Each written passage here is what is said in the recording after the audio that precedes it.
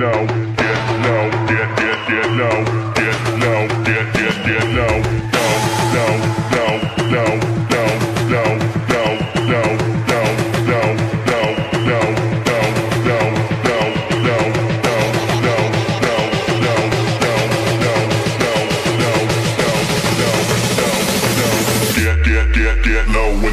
Go.